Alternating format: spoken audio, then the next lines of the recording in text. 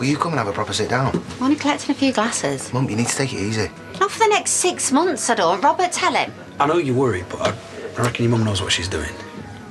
Could I trouble you for another chat? No, Doug, you can't. She's resting. Right, I see. And congratulations, by the way, if I'm allowed to know. Yes, you are, Doug, and thank you very much. Don't bother listening to him. I might not be able to lug a few barrels, but I can certainly pull pints. I think. I'll have an orange juice, please, Tess.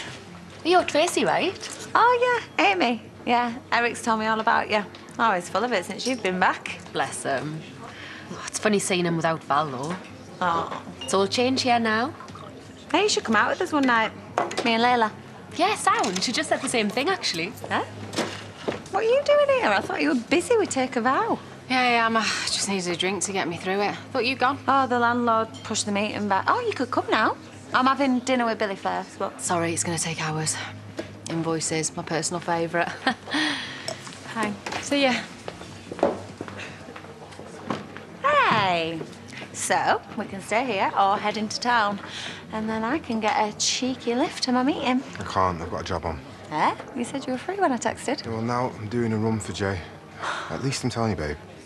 All right, well, maybe we can move it till later. Take away at mine. I'll text you. Why are lads so useless? How long have you got? I don't want to be checking my phone all day, not knowing if the comfies are staying on or off. So he takes you as you are. Only a bloke would say that. Oh, great. Now the landlord's cancelled completely. Brilliant. I'll just uh, go home and pitch my idea to myself. Is it safe to sit down? I mean, you're not going to wrap me up in padding and stuff a load of pregnancy vitamins down my throat, are you? All right, I get the message. If your consultant says you're good, then I'll try and relax. You could take up knitting. Heard it's very therapeutic. Shut up, you. You may jest, but that's how people used to get ready for babies. My mum knitted blankets, and my dad built me a doll's house. They were convinced I was a girl. Yeah, no one is making a doll's house. Paddy and woodwork don't mix, and the last thing he made me was a wonky mouse trap. Yeah, in primary school. My skills have got bad since then. She didn't talk about Grace.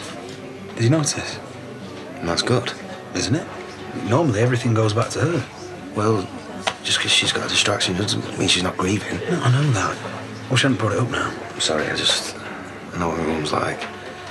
How she buries stuff, and I just wish I could do more as well, but... Billy, will you give us hand with